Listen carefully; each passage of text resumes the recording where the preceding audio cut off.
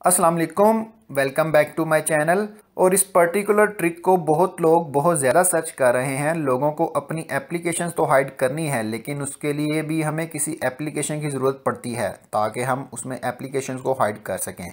But आज की video में मैं जो चीज़ आपको बताने वाला हूँ, उसमें आपको कोई एप्लीकेशन डाउनलोड करने की ज़रूरत नहीं है। बहुत ही सिंपल सी ट्रिक है, बहुत ही छोटे से तरीके से बताने वाला हूँ तो वीडियो को एंड तक ज़रूर देखना है बिना स्किप किए। तो आपको जाना है अपने फ़ोन की सेटिंग्स में और यहाँ से आपको जाना है अपने फ़ोन की यूटिलिटीज़ सेक्शन में। यूटिलिटीज़ में आने के बाद यहाँ पर आपको एक ऑप्शन मिलेगा ऐप लॉकर का। तो आपको उस पर टैप करना है। तो फिर वो आपसे पिन या पासकोड मांगेगा। तो आपको पिन या पासकोड देना है। जैसे ही आप पिन या पासकोड देंगे तो आप इस स्टेप से अगले पर आ जाएँगे, जैसे कि मैं आया हूँ। तो यहाँ पर आपको ऐड एप्स के ऊपर टैप करना है। तो अब आप जिस एप्लीकेशन को लॉक करना चाहते हैं तो यहाँ से आप उस एप्लीकेशन को सिलेक्ट कर सकते हैं। यहाँ से मैंने एक एप्लीकेशन को सिलेक्ट कर लिया है, जिसको मैं लॉक लगाना चाहता हूँ। सिलेक्ट करने के बाद आपने आना है वापस, और देखते हैं लॉक एप्लीकेशन ओपन करके कि पिन या पासकोड मांग रही है या नहीं।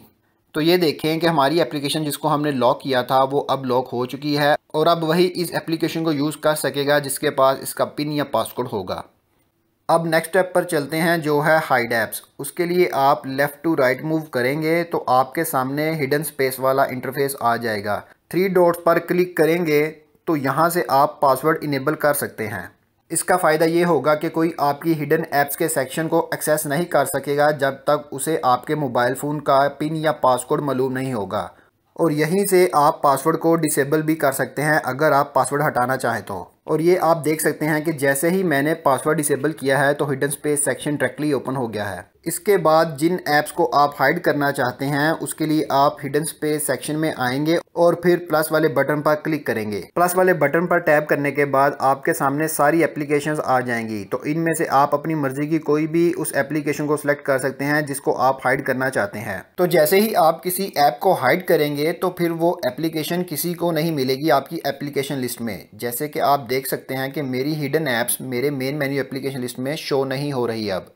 तो ये था सारा प्रोसेस जिसके थ्रू आप इजीली अपनी ऐप्स को लॉक और हाइड कर सकते हैं। तो गाइज़ अगर ये वीडियो आपको हेल्पफुल लगी हो तो वीडियो कीजिएगा लाइक और चैनल को अगर सब्सक्राइब नहीं किया है तो जल्दी से चैनल को सब्सक्राइब करें। तो बस आज के लिए इतना ही, मिलते हैं आपसे नेक्स्ट वीडियो में, तब तक के लिए अल्लाह हाफिज़।